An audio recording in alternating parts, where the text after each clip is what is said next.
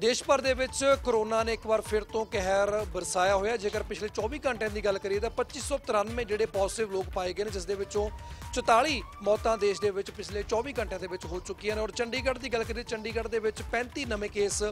Covid ਦੇ positive ਪਾਏ ਗਏ ਨੇ। ਔਰ ਜੇਕਰ ਇਹਨਾਂ 35 ਕੇਸਾਂ ਦੀ ਗੱਲ ਕੀਤੀ ਜਾਵੇ, ਸਿਰਫ ਸੰਡੇ ਵਾਲੇ ਦਿਨ ਪਿਛਲੇ ਐਤਵਾਰ ਨੂੰ ਹੀ 9 ਨਵੇਂ ਕੇਸ ਦਰਜ ਕੀਤੇ ਗਏ ਨੇ, ਜਿਸ ਤੋਂ ਬਾਅਦ ਹੁਣ ਚੰਡੀਗੜ੍ਹ ਪ੍ਰਸ਼ਾਸਨ ਦੇ ਵੱਲੋਂ ਸਖਤ ਫੈਸਲਾ ਲਿਆ ਗਿਆ ਔਰ ਹੁਣ ਇਨਡੋਰ ਤੇ ਆਊਟਡੋਰ ਦੇ ਵਿੱਚ ਮਾਸਕ ਪਾਉਣਾ ਬੇਹੱਦ ਲਾਜ਼ਮੀ ਕਰ ਦਿੱਤਾ ਗਿਆ ਹੈ। ਚਾਹੇ ਤੁਸੀਂ ਕਿਸੇ ਵੀ ਪਬਲਿਕ ਪਲੇਸਿਸ ਦੇ ਵਿੱਚ ਅ, ਖੜੇ ਹੋਵੋ ਜਾਂ ਟਰਾਂਸਪੋਰਟ ਦੇ ਵਿੱਚ ਸਫ਼ਰ ਕਰ ਰਹੇ ਹੋਵੋ ਇਨਡੋਰ ਐਕਟੀਵਿਟੀ ਹੋਵੇ ਜਾਂ ਕਿਤੇ ਵੀ ਇਨਡੋਰ ਗੈਦਰਿੰਗ ਹੋਵੇ ਤਾਂ ਹੁਣ ਮਾਸਕ ਪਾਉਣਾ